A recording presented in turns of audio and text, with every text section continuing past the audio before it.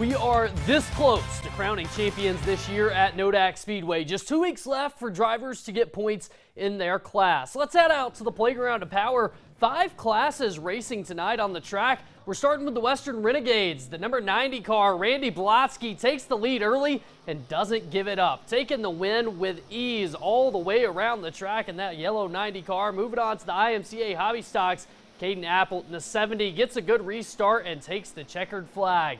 In the IMCA Northern Sport Mod class, a close race between the five car and the zero car. Robbie Rosselli in that number zero takes the lead with two to go and holds on from there for the win. Here's the feature winners from tonight as of the time we went on air. Congrats to those four guys on their wins.